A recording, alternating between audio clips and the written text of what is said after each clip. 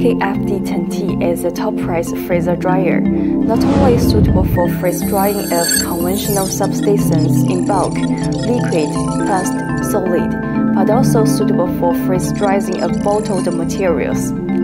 The transparent cover of the drying chamber is made of aviation acrylic material, easy to observe the material. The cold trap, large opening size, with pre-cooling function, the temperature can reach minus 60 degrees Celsius. Imported compressor and vacuum pump, vacuum degree up to 5 pa. The following is to show how to operate. Firstly, put material and temperature probe in the cold trap.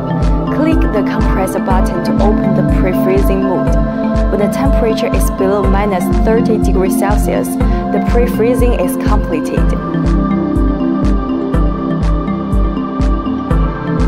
Put the penicillin bottle on the tree and put a temperature probe in the bottle.